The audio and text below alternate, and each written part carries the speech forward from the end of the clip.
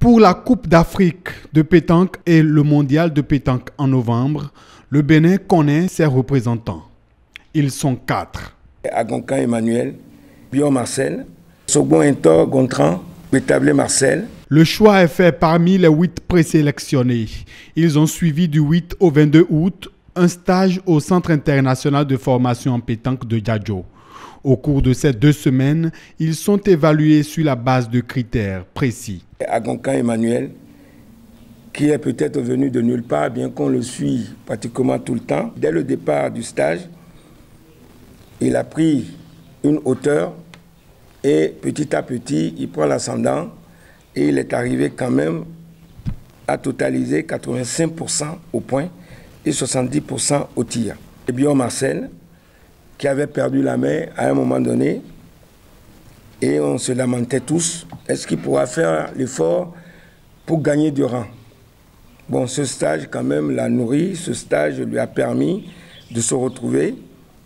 Puis il nous a donné au point 75% et au tir 85%. Bétablé Marcel a totalisé au point 85% et au tir 90%. Second Intor Gontran, qui est venu un peu souffrant, a fait 75% au point et 95% au tir. Cela n'a pas été facile, reconnaît le champion d'Afrique de tir de précision et capitaine de l'équipe, Marcel Bio. Je suis levé tôt le matin et venu jouer, ça n'a pas été facile. Mais au fil, au fil des jours, chacun a su mettre et toute la, et la vocation dans ce qu'il est venu chercher, parce que nous tous on est venus chercher la place pour l'équipe nationale et ce qui a été fait aujourd'hui lors de la proclamation des résultats. Et puis parmi les huit, nous tous nous sommes tous euh, des, champions parce que la première phase, c'est les huit qui ont été retenus. Aujourd'hui on a été conviés pour cette euh, seconde phase où ils ont retenu quatre. Je crois qu'il faut féliciter ce gouvernement qui a de l'ambition et par rapport à cela, nous devons pas faire piètre figure, nous devons pour mériter de la confiance que le gouvernement place en nous.